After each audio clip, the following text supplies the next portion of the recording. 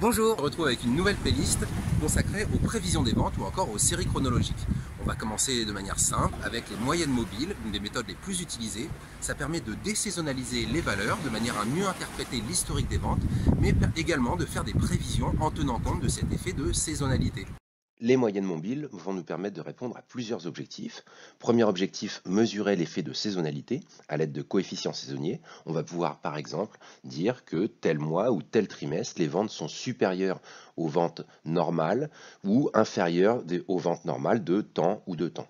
Ça permet ensuite, deuxièmement, de dresser le tableau des valeurs désaisonnalisées. C'est-à-dire qu'on va enlever l'effet de saisonnalité à l'historique des ventes pour mieux l'interpréter et dégager une tendance plus facilement. Enfin, troisième objectif, on va pouvoir réaliser des prévisions. La saisonnalité ne concerne pas que des produits extrêmes, comme les jouets en période de Noël, ou les crèmes solaires, les crèmes glacées ou les parasols en période estivale. On voit ici par exemple que la consommation de vin en Chine est très saisonnière, ou encore sur le graphique de droite que les poussettes ou les sièges auto sont également vendus avec un fort effet de saisonnalité. On se rend compte au final que la saisonnalité concerne la plupart des secteurs de l'économie. Les différentes méthodes de prévision basées sur la saisonnalité reposent sur les mêmes principes. Une série temporelle s'explique tout d'abord par une tendance, trend en anglais, qui peut être, là je vous ai mis quelques exemples, à la hausse, à la baisse, à l'aide d'une droite, ou alors qui peut être modélisée à l'aide d'une fonction du second degré, ou encore une fonction logarithmique. Une série temporelle s'explique ensuite par une composante saisonnière. On voit par exemple dans ce cas que les ventes seraient plus importantes au printemps, beaucoup plus fortes en été, légèrement inférieures en automne et très faibles en hiver. Enfin, troisième composante, et c'est la limite de cette méthode, il y a un résidu epsilon, c'est-à-dire quelque chose que l'on n'arrive pas à identifier ou qu'on arrive à identifier et qui va avoir une interférence sur les ventes. Par exemple, une grève, une crise, une pandémie comme on a eu avec euh, le Covid, et on commence par supprimer euh, cet euh, élément identifié si on le connaît, et par contre on va accepter le fait qu'il y ait une partie d'aléatoire si on n'arrive pas à identifier cet élément. Le principe de la méthode consiste à éliminer l'influence saisonnière afin de mieux comprendre l'évolution, la tendance, puis réaliser des prévisions le long de cette tendance, puis resaisonnaliser nos prévisions afin de les rendre plus précises. Afin de bien comprendre la méthode, je vous propose de l'expliquer à travers un petit exemple. Voici quatre années de vente. On va faire comme si on s'y situait à la fin de l'année 2020 ou au début de l'année 2021. Et donc, on va chercher à réaliser des prévisions sur l'année 2021 en tenant compte donc de l'effet de saisonnalité. On a ici des ventes qui sont présentées par trimestre. Nous sommes sur une période de 4 ans. Il y a 4 trimestres par an. Cela fait 4 x 4, 16 périodes de temps. X sera notre variable temps. X va aller de 1 à 16. C'est l'axe des abscisses et on va tout simplement, tout simplement représenter les ventes en ordonnée, Y.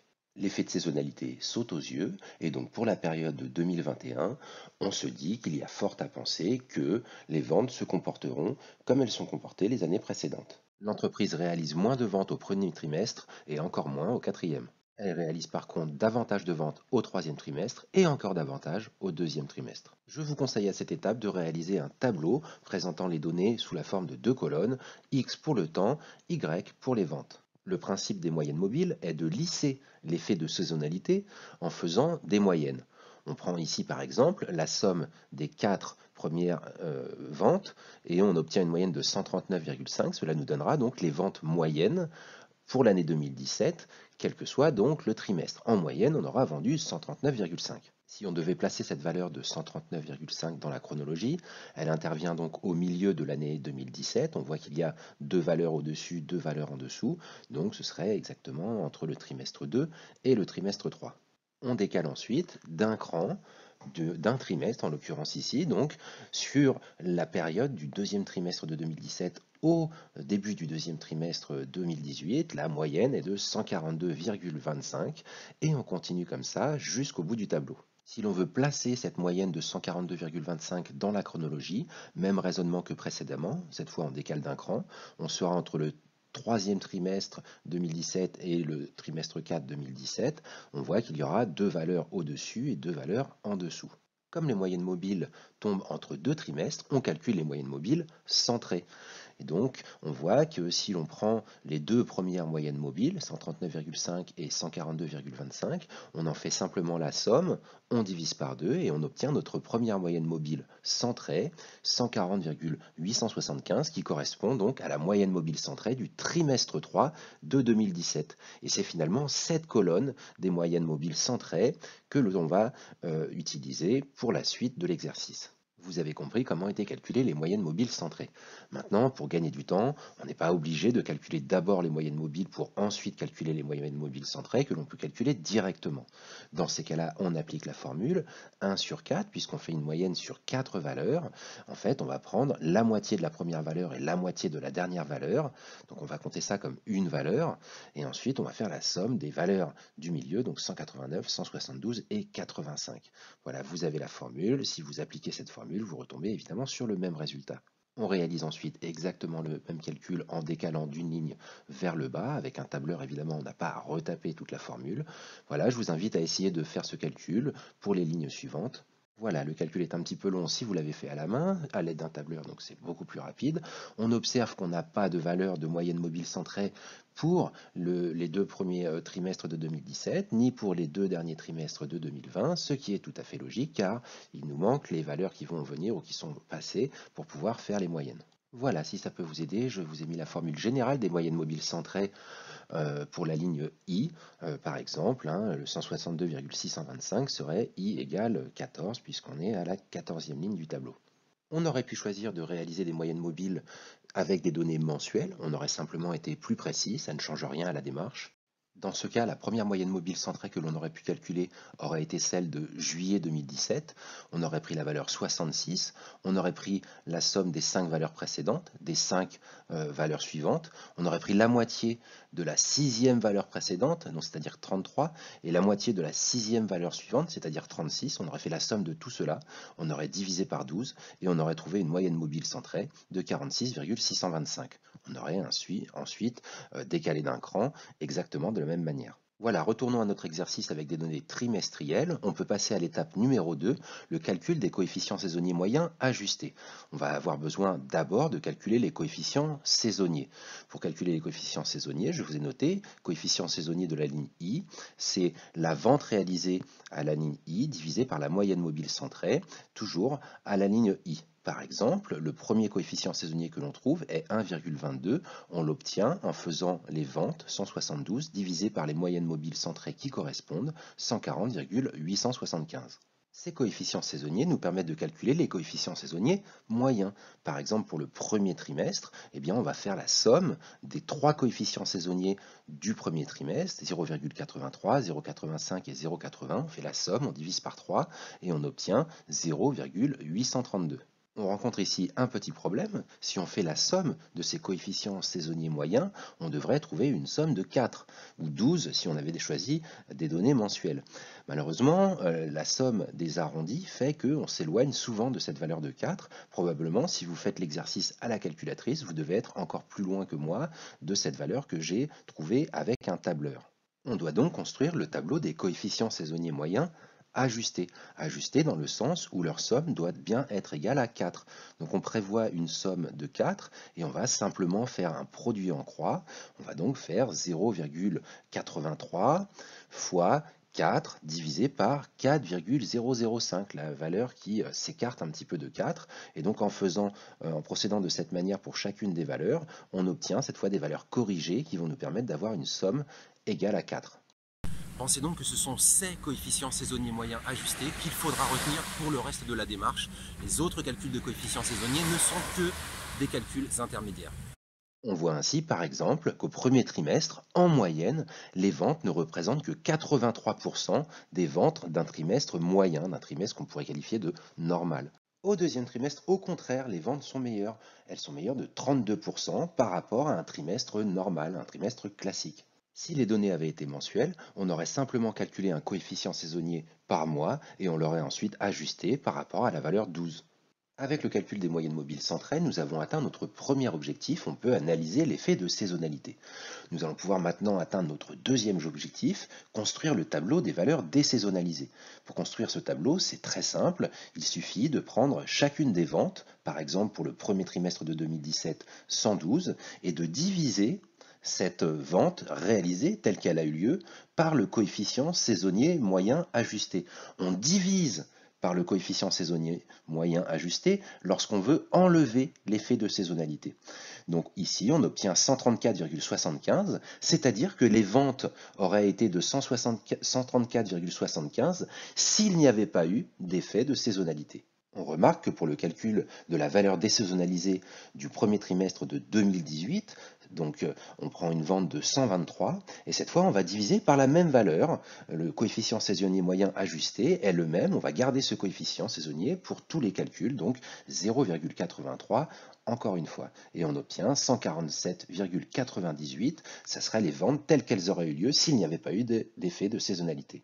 Le tableau des ventes désaisonnalisées permet de mieux se rendre compte des fluctuations puisqu'on a élevé, on a enlevé l'effet de saisonnalité et ça permet donc de mieux voir quelles sont les données qui vont sortir un petit peu de l'ordinaire, quelles sont celles qui s'écartent de la tendance, voir quels sont les trimestres qui ont été les plus mauvais, visiblement le trimestre 4 de l'année 2017, ou quels ont été au contraire les trimestres qui semblent les meilleurs, par exemple 171,29 au quatrième trimestre de 2019 la représentation graphique des valeurs désaisonnalisées, comme vous le voyez, comparativement à l'historique des ventes, eh bien, ça permet de mieux voir apparaître la tendance générale. On a enlevé l'effet de saisonnalité et on voit donc que la tendance générale se, se rapproche davantage d'une droite avec certains points qui s'écartent de cette droite. C'est ce que l'on avait remarqué précédemment. Le quatrième trimestre de 2019 est bien meilleur, effectivement.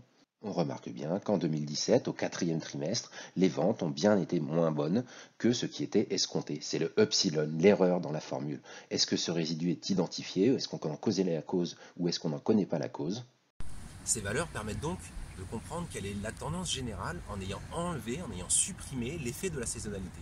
Ça permet donc de dessiner cette tendance. On voit ici qu'elle est linéaire et donc on va pouvoir réaliser des prévisions à l'aide d'une droite que l'on va ensuite resaisonnaliser. On aurait également pu faire des prévisions différentes à l'aide d'une autre fonction si les données avaient eu une allure différente de type logarithmique ou exponentielle par exemple. Pour réaliser des prévisions à l'aide d'une droite, on utilise généralement la méthode des moindres carrés.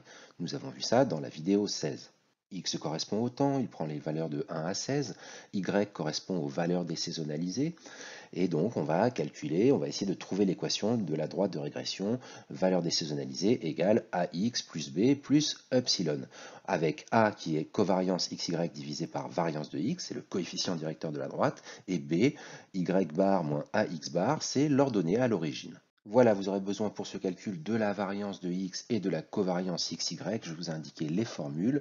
Essayez de vous exercer, je vous donne la réponse tout de suite. Pour le calcul de la covariance, nous avons besoin d'ajouter le produit de x fois v de d. Euh, et si on regarde donc en bas de la colonne, on voit que la moyenne de ce produit vaut 1341,22 euh, et on va simplement ensuite retrancher le produit des moyennes, donc 8,5 fois 152,8, on trouve une covariance de 41,96. Pour la variance, on a simplement besoin d'ajouter la colonne des xi moins la moyenne de x au carré. Et donc, vous voyez qu'en faisant simplement la moyenne, en bas, on trouve directement donc la variance, 21,25. Bravo à vous si vous avez trouvé ce résultat. On applique la formule pour trouver A covariance divisé par variance. On trouve A environ égal à 1,97 et B égale 136,06.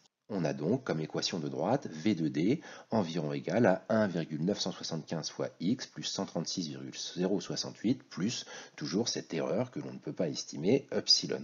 Pour faire des prévisions sur ces valeurs désaisonnalisées, on a donc juste à remplacer dans cette fonction la valeur de x par les valeurs suivantes. On s'était arrêté à 16, donc on va prendre les valeurs 17, 18, 19 et 20 pour faire des prévisions sur l'année 2021. Allez-y, je vous donne la réponse tout de suite. Voilà, en remplaçant dans l'équation de la droite x par la valeur 17, on obtient une prévision désaisonnalisée pour le trimestre 1 de 2021 de 169,64 171,61 pour le deuxième trimestre, 173,59 pour le troisième trimestre, et 175,56 pour le quatrième trimestre 2021. Les prévisions que nous avons réalisées sont des prévisions désaisonnalisées. Vous voyez, V2D avec un accent circonflexe, donc un accent circonflexe qui indique que l'on fait des prévisions, et V2D désaisonnalisé. On a, obtenu donc 169, 171, 173, 175. On voit bien que ça ne correspond pas à ce qui se produisait dans la réalité. Il nous faut maintenant resaisonnaliser ces prévisions. Pour cela, on va simplement multiplier chacune de ces valeurs par le coefficient saisonnier moyen ajusté qui lui correspond. Retenez donc que ce sera très simple quand on veut resaisonnaliser, on multiplie tout simplement par le coefficient saisonnier. Pour la prévision du premier trimestre de 2021, eh bien, on a simplement appliqué le coefficient saisonnier moyen ajusté du premier trimestre et on a trouvé une prévision de vente de 141. Les prévisions de vente sont de 226,5 pour le deuxième trimestre de 2021, de 207,4 pour le troisième trimestre et de 114,8 pour le quatrième trimestre de 2021. Voilà, je vous ai représenté tout cela graphiquement. On voit donc jusqu'à 2020 l'historique des ventes, les ventes réalisées, ce sont les points bleus. On voit à partir de 2021, d'une part, les valeurs désaisonnalisées prévisionnelles, donc ce sont les points en rouge sur la droite. On voit qu'ils représentent la tendance, mais ne tiennent pas compte de l'effet de saisonnalité. Puis on les a resaisonnalisés, et donc là, on voit finalement le résultat final, les ventes prévisionnelles, ce sont les points verts. Ces prévisions sont-elles fiables? Les données, en tout cas, semblent bien correspondre à la situation, c'est-à-dire qu'on a une tendance qui clairement est linéaire, on a un effet de saisonnalité qui est également clairement marqué, mais pour que nos prévisions soient fiables, encore faut-il que ce qui s'est produit dans le passé continue à se reproduire dans le futur. Il faudrait, en d'autres termes, que la partie epsilon de notre formule, c'est-à-dire toute la partie imprévue, ne surgisse pas. Et on, voit, on a vu, euh, avec de nombreux cas de figure, qu'avec la crise du Covid, par exemple, on avait un epsilon qui était identifié, c'était le Covid, mais qui a complètement modifié euh, les ventes et ce n'était pas du tout prévu pour le coup. Voilà, j'espère que cette vidéo vous aura été utile. À venir, des vidéos sur la réalisation d'une étude de marché, le questionnaire, l'analyse des données, mais également des vidéos conseils pour la réalisation de votre mémoire de fin d'études. Et puis, bien sûr, toujours des vidéos de statistiques appliquées avec d'autres vidéos sur les méthodes de prévision des ventes notamment. Voilà, n'hésitez pas à me dire dans quel ordre vous voulez que je réalise euh, ces vidéos. Et puis, euh, dites-moi aussi ce que vous pensez de ces insertions. Est-ce que ça personnalise un petit peu, ça rend les choses plus vivantes, ou est-ce que je me contente simplement de l'audio dans mes vidéos? Voilà, à bientôt